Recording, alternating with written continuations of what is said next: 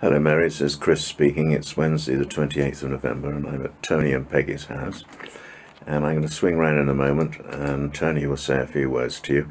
Um, they've um, read your messages, which uh, you've sent to me recently, so you probably want to say something about that. So here's Tony now. Right. Right, Tony, you want to say something to Mary?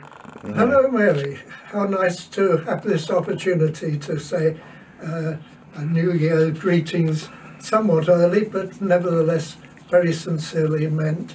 I hope this has been a good year for you and that next year will be even better. Gosh, I don't know what I can say. Trouble of getting uh, elderly uh, is that uh, you have no control over these matters and that we all uh, have to Right. take the chance.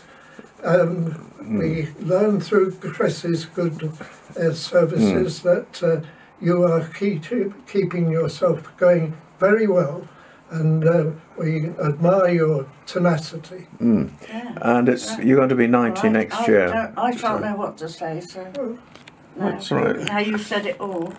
Well, so here's, here's Peggy, but looking as, as brisk as usual.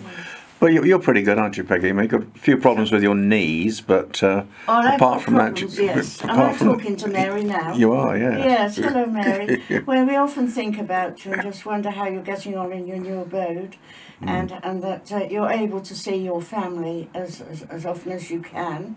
Mm. And um, I'm sorry we haven't been in touch, but we're very decrepit now. Mm. Uh, my knees, I literally can hardly walk at all now, and all my shoulders, everything hurts, and. We're coming up 90 in January, so uh, we haven't not doing too badly. We never get out. We're housebound, but um, we just have to make the most of um, what life we've got here. Um, we've put to, to, Tony and I are still together, so that's fine. We haven't parted yet at all in A any bit late for that now. happily or otherwise. oh, that's good, isn't it? Anyway, lots of love to you, and have a lovely Christmas.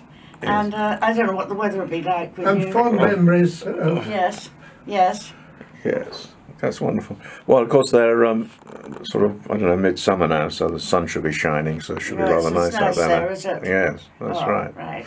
Yeah, picnics on the beach. All that kind of stuff. Yes, Yes. yes. Well, here's the two, two of them together.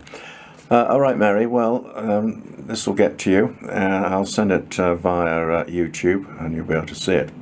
Okay, but very nice uh, being able to do this. I think. So good, goodbye for now. goodbye, Mary. Bye bye, Mary.